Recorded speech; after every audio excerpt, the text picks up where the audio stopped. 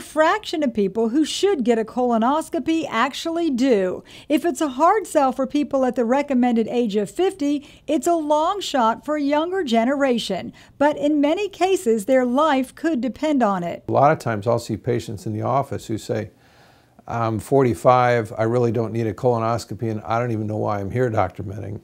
And I said, Well, you're here because you have symptoms. Beginning at age 50, both men and women of average risk should undergo a screening to look for polyps that lead to colorectal cancer. The exception are people who fall into a high risk category. If you have a strong family history of colon cancer, as defined by somebody who maybe a parent or a first degree relative. In addition, high risk groups would have a history of colon polyps, they may have a history of ulcerative colitis or Crohn's colitis. Even two decades ago, it was rare to find patients in their 20s, 30s, or 40s with colorectal cancer. Now it's less surprising. The number of young to middle aged people is steadily climbing, and studies predict that to continue. Experts believe young people should be proactive when it comes to any symptoms. Just because you have abdominal pain does not mean that you have colon cancer.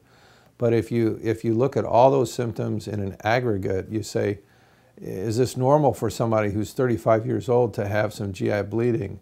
Is it normal to have this degree of abdominal pain? If we educate them, it gives them an opportunity to take control of their own health. The later cancer is picked up, the poorer the prognosis. So acting aggressive with any unusual bowel activity is the smart move. For Lee Memorial Health System, I'm Amy Osher.